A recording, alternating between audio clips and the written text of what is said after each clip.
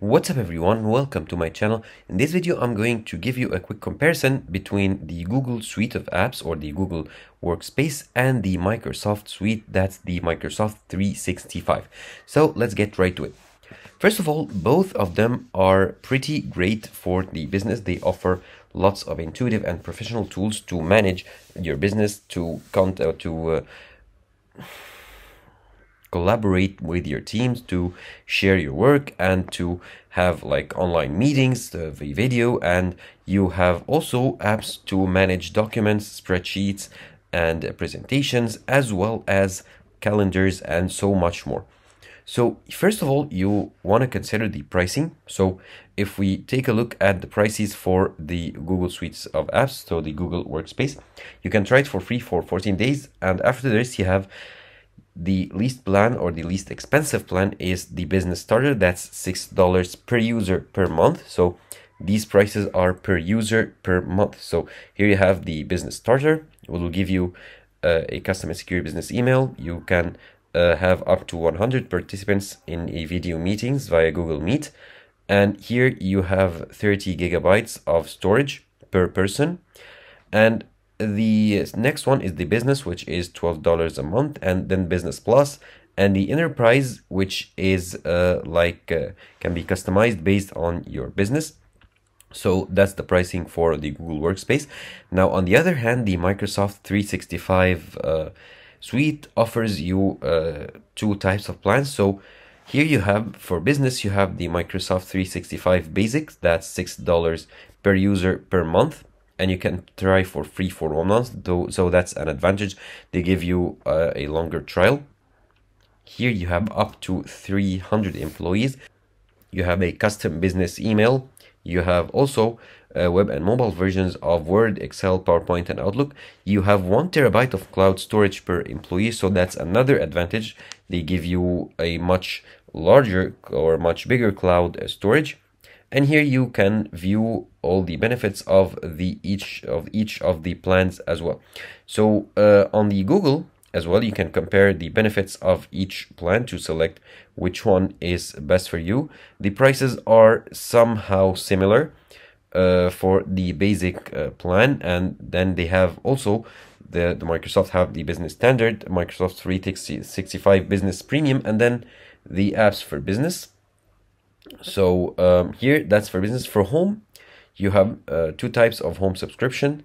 You have here the microsoft 365 family that's 99.99 a year and the 365 personal that's 69.99 per year so that's for one person. And here you can view uh, the benefits of each of the plans. So for example for uh, the personal they give you uh, up to five devices and one terabyte of cloud storage and if you choose to pay monthly that'll be for personal 6.99 a month and for the family 9.99 a month so the prices are uh, somewhat similar however one big advantage of the microsoft suite or the microsoft 365 is that they give you offline versions of their apps. So you have an online version of Word, Excel, and like OneNote, PowerPoint, and so on. So that is a great advantage if you are uh, using your laptop or your computer in a place where there is no network coverage or the internet like is down or something like that. So you can use or edit and view the documents without the need of internet. However in the google workspace you have to be online or uh, you have to have an internet connection to use and uh, view and edit all your documents on like google docs and view your spreadsheets on google sheets and stuff like that. So that's uh, one thing to consider if you are like traveling a lot to places where you do not have an internet connection. And uh, second of all, uh, video meeting, you have uh, for the Google Workspace, you have the Google Meet video conferencing service. And for the Microsoft, you have the Microsoft Team video conferencing service, uh, video conferencing uh, service as well. So both of them offer like video meeting capabilities. So if you want uh, or you have a big team and you are doing video conferences all the time, you cannot go wrong with any of them. So um, one other thing is collaboration. So if you have, you collaborate a lot with your team, the collaboration and um, sharing option in the Google Workspace are much better. So you can assign uh, other people to your like uh, Google Docs. So if you wanna collaborate with someone of on your team with a, on a document to edit it and view it, you can uh, share the document and assign them to edit the document or the Google Sheets much much easier than on Microsoft. So if flexibility of collaboration with your team members is an or is a must for you, then the advantage here uh, goes to Google Workspace. Um, another advantage of Google Workspace is that many of the uh, apps or like most of the apps provided in the Google Workspace suite, so like uh, uh, Gmail, uh, Google Drive, uh, Google Meet, and the uh, document editing suite like Google Docs, Google Sheets, and Google Slides are available absolutely for free. So if you sign up to a Gmail account, you for free, absolutely free, you can use all or most of these apps for free, absolutely free as you wish. Of course, you'll use them online through your Google uh, Drive. So you can view and edit documents on Google Docs. Google, you can use uh, spreadsheets, uh, Google Sheets to edit and create spreadsheets and uh, so much more on your Google Drive. However, there are some limitations like for the online storage size and the capabilities that you can use on the free uh, version.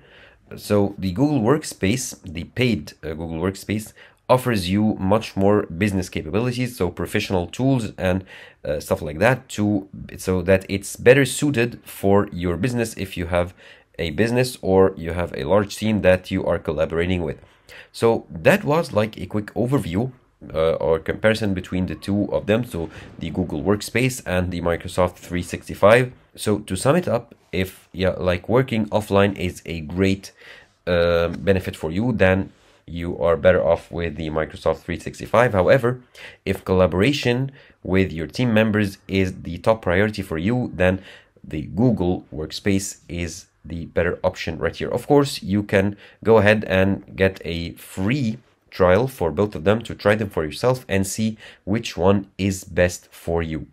However, in the end of the day, as I told you, you cannot go wrong with any of the two platforms. Both are great at managing your business, your teams, collaboration with your teams, editing your documents, organizing your meetings, your uh, like tasks on their calendar, uh, having video conferencing, and managing your uh, online storage. So on Google, you have Google Drive, and on Microsoft, you have the uh, OneDrive service to store all your data and your files. So basically, they are both great business suites and it comes down to your preference and which features you value the most in your business suite.